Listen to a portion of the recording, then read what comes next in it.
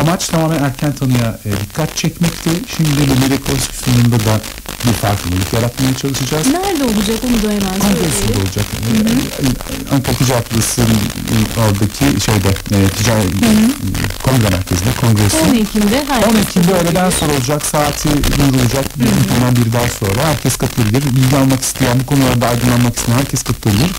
Dediğim gibi tıp profesyonelleri olacak, hastalar olacak, kanser destek grupları olacak, e, konser olacak, dans olacak, bir sanat ve terapi olacak. Orada bir köşede psikiyatrist arkadaşımız orada resim ve kanser hastalarının e, tedavisine katkı bulunacak.